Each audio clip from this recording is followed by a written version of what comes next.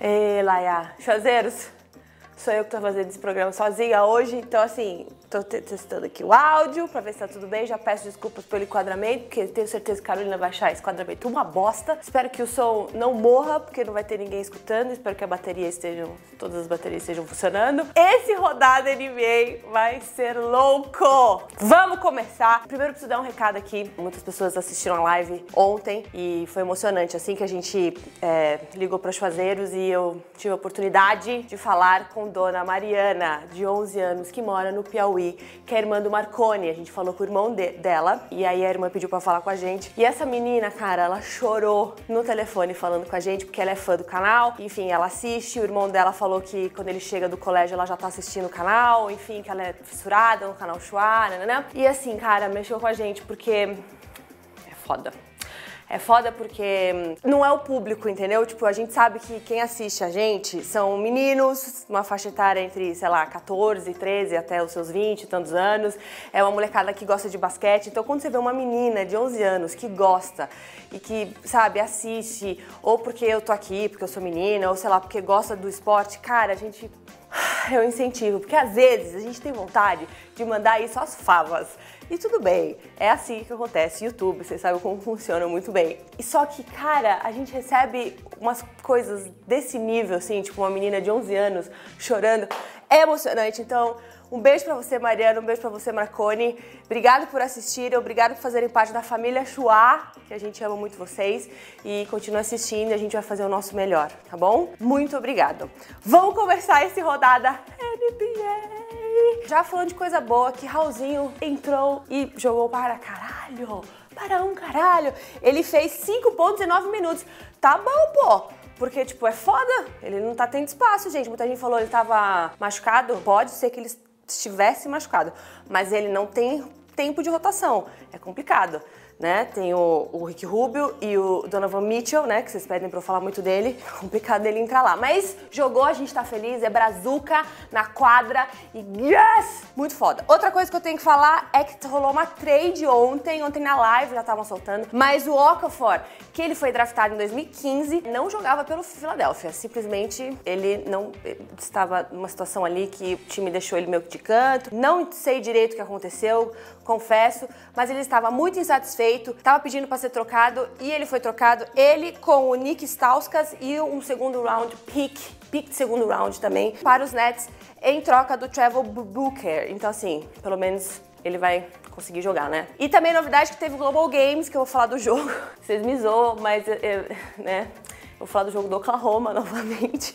Mas legal dizer que foi na cidade do México esse jogo, do Oklahoma e do Brooklyn Nets. Quem sabe, será que a gente consegue trazer um jogo da NBA aqui? Podia, né? Tipo, o jogo mesmo, sabe assim, que vale, não amistosinho, né? Porque amistosinho a gente sabe que não conta porra nenhuma, né? Ia ser bem legal. Sacramento Kings é Cleveland Cavaliers. Meu Deus. Eu sei que é redundante e repetitivo ficar falando de LeBron James, mas o que, que a gente pode fazer, né? Porque o cara tá jogando muito. E esse jogo, cara, é tudo que a gente vai repetindo nos últimas, sei lá, três rodadas cinco rodadas. Enfim, Cavaliers ganhou de 101 a 95, LeBron James 32 pontos e 11 rebotes, Kevin Love 18 pontos e 13 rebotes e Kylie Culver com 15 pontos. O Bruno mandou falar um negócio que eu também concordo com ele, que o LeBron James está cheirando o cangote do Harden para MVP, porque né, a gente já tinha conversado sobre os MVPs, como é uma temporada muito longa, né? Tipo, é complicado. A não ser ano passado que o Westbrook meio que dominou a temporada inteira, mas essa temporada tá meio que, tipo, cada hora um jogador tá jogando bem, assim assim. Então, tipo, no começo era o Yannis Antetokounmpo, que agora tá continuando a jogar bem, mas não tá tendo todo aquele destaque. O Harden que vem jogando aí muito bem e nesses últimos tempos o LeBron James, mano, tá jogando muita bola. Três vitórias consecutivas do Cleveland Cavaliers. O Sacramento fez um jogo bom, no sentido, fez o dever dele, entendeu? Tipo, marcou bem, tava lá no jogo, não deixou abrir o placar e tipo, tamo aqui. Aí, aí entra LeBron James, entendeu? Aí quando o cara entra, não sei o que tá acontecendo com ele, ele tá tomando de que água ele tá tomando? Porque ele chega e ele destrói ele simplesmente pega a bola e, e pega o jogo, põe no bolso e fala: essa porra é minha. E acabou, entendeu? Tipo, tá jogando fácil. Treinou para isso, né? Mas assim, LeBron James foi clutch novamente. Não tem como escapar disso. Eu sei que vocês reclamam que a gente fica falando muito do LeBron James, mas cara, o que o cara tá jogando, gente, já falei, agradeçam que vocês estão vivendo na mesma época que a dele. Porque assim, pode ser que daqui cinco anos ele não esteja mais jogando, entendeu? Não sabemos que vai acontecer. Você pode estar tá vendo outro jogador aí que, sei lá. Então assim, Obrigado, LeBron James. Você é foda. Chicago e Pacers. Mano, é daqueles jogos que se você é do Chicago, é tipo, vocês que já jogaram qualquer tipo de esporte, é, se não jogou, eu vou explicar. Você fica chateado, entendeu? Porque é aquele jogo que você tá na frente o tempo todo. Você tá no controle da partida, sabe? Você fala assim, tudo vai dar certo. Está tudo controlado, estamos jogando bem. Se a gente continuar assim, vai dar certo. Aí chega no último quarto, quarto, no caso do basquete, ou sei lá, no último set, ou nos últimos minutos, sei lá do que, e aí desanda a maionese, e aí você me perde o jogo. É uma merda esse tipo de jogo. Foi o que aconteceu aqui contra o Pacers, né? Com o Victor Oladipo jogando para um caralho, 27 pontos. Vai ser muito provavelmente o Most Improved Player, também o Bruno que deu essa dica. Pode ser que sim, por enquanto é o que ele vem jogando, muita bola. Foi clutch novamente, fez umas cestas cruciais para ganhar o jogo no último quarto, nos últimos minutos. Porque assim, no começo eles, o Pacers não estavam jogando bem, o Chicago tava, né, dominando o jogo, mas no último quarto eles meteram 29 pontos e viraram o jogo. Então assim, parabéns. Quem mais ajudou, peraí, foi o Bogdanovic, 17 pontos, e o Darren Collinson com 14 pontos. Parabéns, Pacers! A gente não fala muito do Pacers aqui, né? Vocês reclamam, né? Vou prestar mais atenção nisso, fica tranquilo. Aliás, eu preciso voltar no Twitter, né? Pra ficar perguntando pra vocês que jogos eu tenho que falar. Eu esqueço, gente. Tô ficando velha, calma, a tia vai lembrar. Atlanta e Orlando Magic.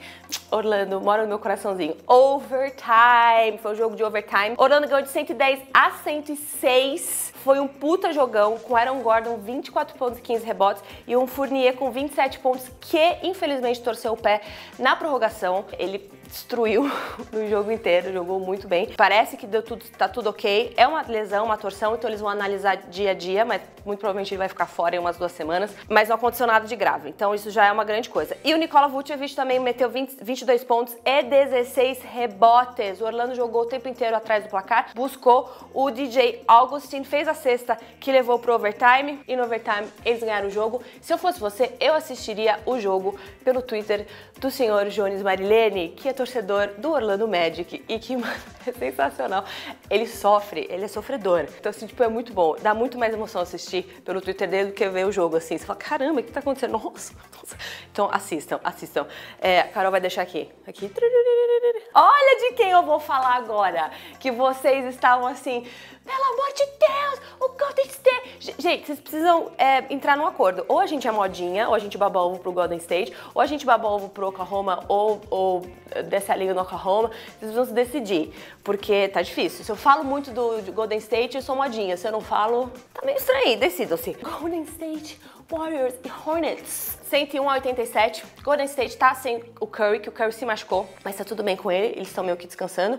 O menino, a lesão não é grave, tá tudo certo, mas a gente tem um roster ali do Golden State enorme, não é mesmo? Você não contrata o Kevin Durant à toa, né? MVP da porra toda. Com, fez 35 pontos, 11 rebotes e 10 assistências. Triple-double para o menino. Clay Thompson ajudou com 22 pontos e o Nick Young com 10 pontinhos. Kevin Durant tá mais controlado, né? A gente falou isso disso na live ontem. Nossa, foi expulso dos últimos, sei lá, foi três vezes expulso nos últimos três jogos, não sei se foi nos últimos três jogos. Tá bem que ele tá se controlando, não é mesmo? Porque o Golden State precisa dele agora, e foi o que ele fez nesse jogo, né? Falou, esse jogo agora sou eu que tenho que fazer as cestas e dominar essa porra toda. E foi isso que, que aconteceu, o Steve Kerr elogiou muito ele, falou que ele tá muito mais centrado, muito mais é, jogando em equipe, é, prestando atenção nas atitudes dele, porque a gente, sei lá, né, as pessoas ficam muito loucas, ficam nervosas e começam a xingar todo mundo, porque a gente gosta, eu vou dizer que a gente gosta, porque quando sai treta é legal, a gente gosta de mostrar. Mas enfim, vale dizer também que o Golden State deu 26 assistências, então assim, Parabéns pelo jogo coletivo do Golden State. E é só chovendo molhado, né? Falar do Golden State é meio que chovendo molhado, que né,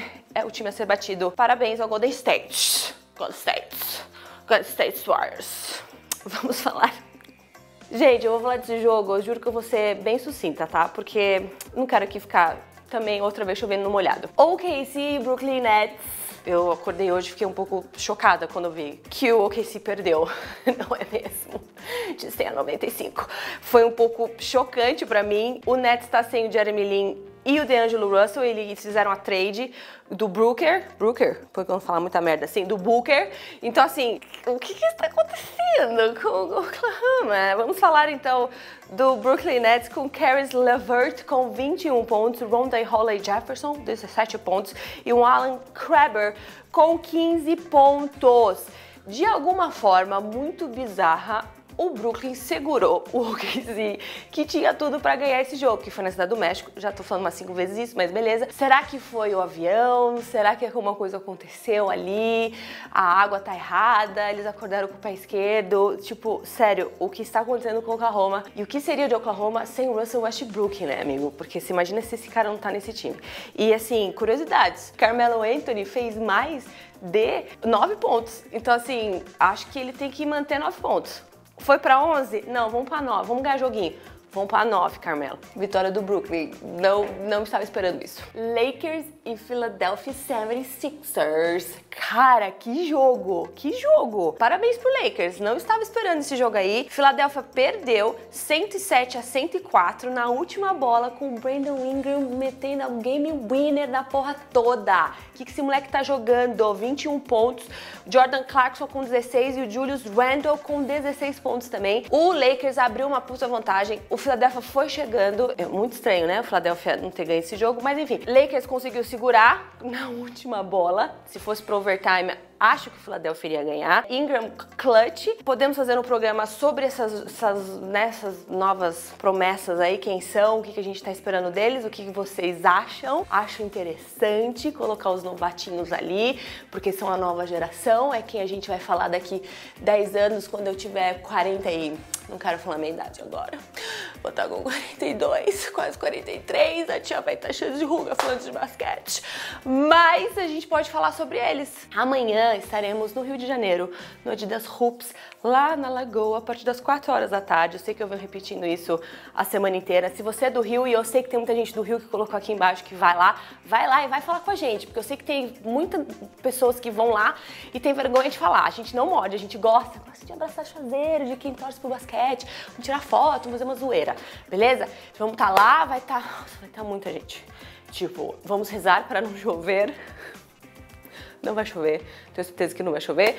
E é isso, vai ser muito louco. Deixa eu ver se o áudio tá bom ainda. Se não tiver, não sei quando morreu o áudio. Se o áudio morreu, áudio morreu? Não. Então é isso.